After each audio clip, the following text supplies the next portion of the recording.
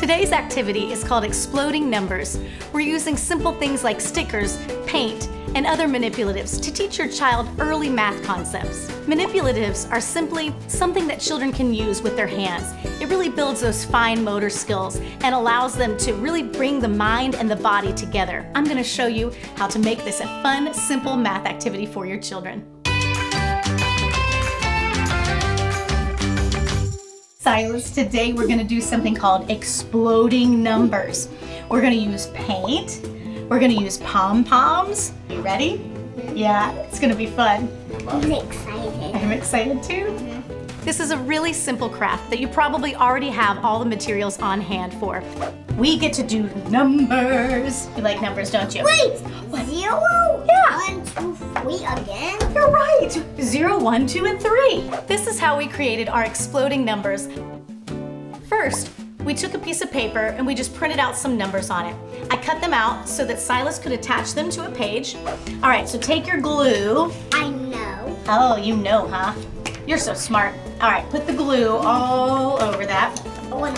Stick it anywhere you want on the page. You can add something like stickers. Simply ask them how many dots go along with each number. Now we're gonna put stickers. Goes by the number. That's right, you need how many right here? One. And then What's the noise? right here. Two. There you go. Okay. Now six. Six. What, what color do you want for six? This craft is a really great way to teach number sequencing as children get to recognize numbers and also how they flow in order. It also teaches subitizing, which is the recognition of looking at numbers in a set. So when they look at three stickers, they recognize immediately that there's three there. How many bright pinks do you have? Four. Let's count them. Four. Right, three. And how many purples? So how many purple and pink all together are there? How many do you have? Can I count all? Let's count just the pink and purple, and then you can count all of them if you want. One, two, three, four, five, six. You're right, six. And then this is where your little one can really get their creative juices flowing. Put some paint simply on a plate for them, and then they can go to town. They can smear, they can blot, whatever they want to do to create their exploding numbers. Okay, you can paint, and you can either dab it on, or you can make streaks, whatever. You can experiment and do what you want. See on the outside, they painted all around the outside of the number. And if you paint the dot too, the dot will show up too. Ooh, I like that, Silas. What color do you want to add to it? Wait. I need a hmm. couple. Are you I can use- mix them. You can mix it if you want. You can experiment. Yeah. Just like they had orange and yellow. There you go. Ooh, I like that, Silas. Very creative. One. Oh, yeah. Can I do number six? Wait. Can I mix them? Sure. They could even use these pom-poms if they wanted to to paint with. Then you simply peel off the numbers. Go from this side. And you have a beautiful piece of artwork. Look at your exploding numbers. Ah. Do you like it? Yeah. Silas, you could see the little light bulbs going off in his head as he looked at the stickers and could count all the objects. Or when he saw the colors in the paint, he would go around and say, this color is this and this is this color. Boil. blue, Boil.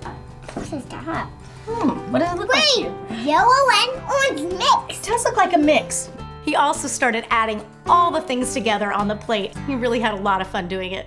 You can also take some pom-poms, which are really fun. Fun for little fingers to hold these and use those little fine motor skills. Have them put on the page corresponding with each number.